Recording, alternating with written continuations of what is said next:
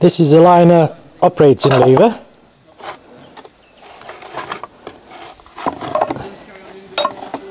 The white metal bushes and the oil drillings.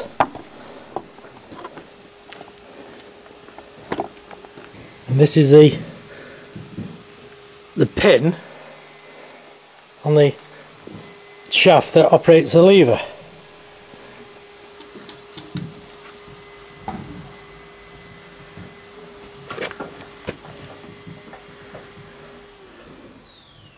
You first put the top half on, followed by the bottom half.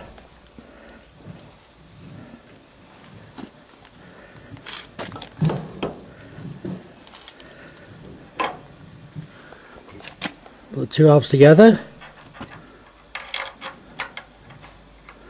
Put the first bolt in.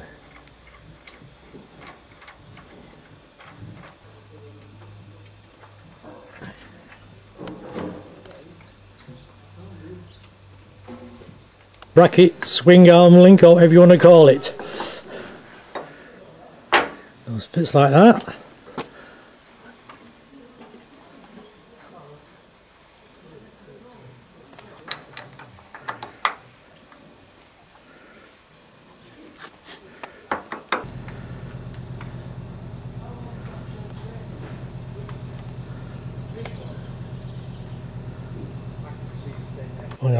This is a rather clever oil jumper pipe that goes from lever to lever. The oil's fed into to this one via this pipe work here through the drillings.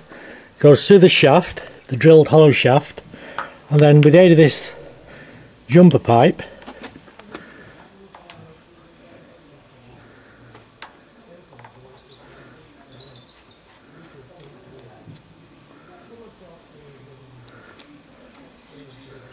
transfers the oil to the next one and all the way along the engine when we fit them. And as you can see, all the levers now go in and out.